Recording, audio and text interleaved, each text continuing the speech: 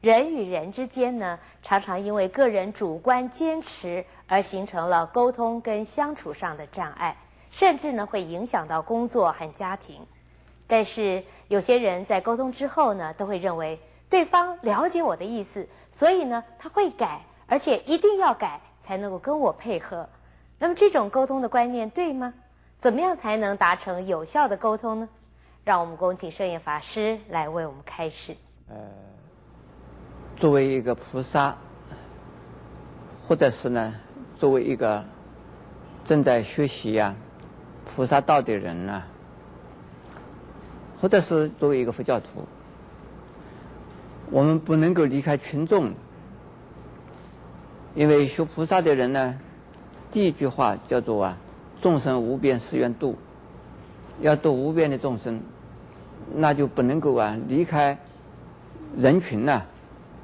而自求啊，治疗，或者是呢自求安乐，或者是呢独善其身，那就不是啊学佛的人，那就没有办法度众生了。既然是要度众生，我们必须要第一要奉献自己给众生。第二呢，要接纳众生呐的种种的问题，来帮助他解决问题，然后才能够啊把佛法告诉他，他们才能接受。所以是佛法里边呢，有一个叫做同事摄，四摄法，四摄法的意思呢，就是用四种方法来。引导众生呢进入佛法之门，进入修学佛法的大道，叫做有四种。四种里边呢，有一种叫做同事色。那么第一种啊，就是布施色；第二种啊，叫做力行色，就是力，这是布施力行。同事，这三种啊，非常的重要的。还有，我们要度众生呢，不是强制众生接受我，我们一定要让众生能够接受我们。这首先要接受众生，所以接受众生度众生，往往有的人呢站在姿态高高的。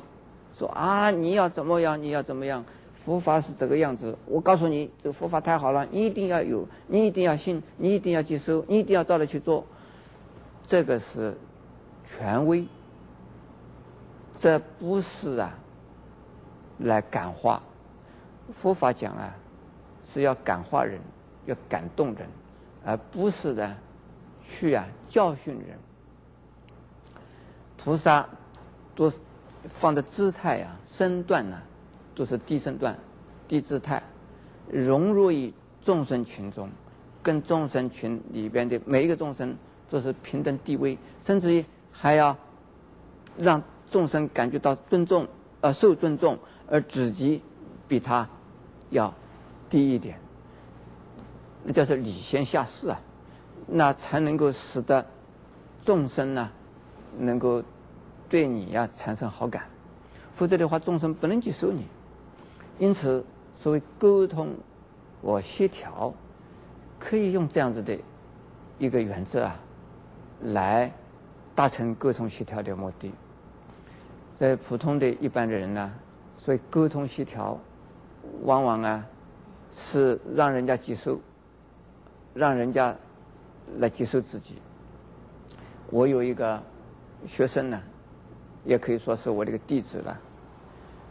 他去做沟通协调的时候，就把自己啊，就告诉人：现在我为你设想，我告诉你，现在你一定要这样子做。你不是这样子做的话，你麻烦了。而你非得这样子做不可。我现在是啊，来跟你沟通的，你一定要接收。你不接收呢，啊，不行的。然后再问一问，你接收有没有困难？那对方。想要讲困难的时候，啊，这不是困难。你接受了以后，这个困难就自然解决。然后再问他你有没有什么困难，人家又要讲又要困难，好，你不要再讲，你保证你你接受了，照我这个去做，一切就就就完成了。人家说，我大概不能接受哎，啊，怎么不能接受？我讲的这些话你听懂没有？那对方说我听都听懂了，那你听懂了你就接受了。但是呢，对方说我是听是听懂了，我但是我好像我没办法接受哎。像这样的沟通，这是啊单线式的呀，这个是填鸭式的，这不是沟通啊。真正的沟通一定是先要问他有什么困难，有什么需求，有什么需要，来我帮助你。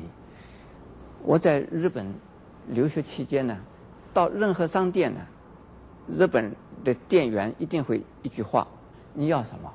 你告诉我你要什么。我看看我能够帮助你什么，是这样子讲，非常简单。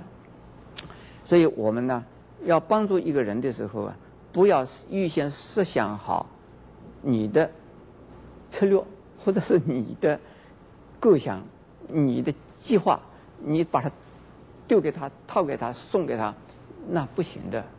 还有中国人呢，请人家吃菜，上一上桌子的时候。把什么辣的、酸的、甜的、这个硬的、软的、生的、熟的，就是全部不断的把它加给他，加给客人，加给客人。这个客人吃的这么多，这个吃也不行嘛，不吃也不行。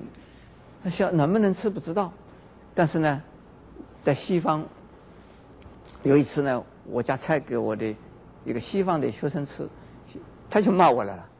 他师傅，你知道我喜欢吃这个吗？师傅，你知道我需要还要吃吗？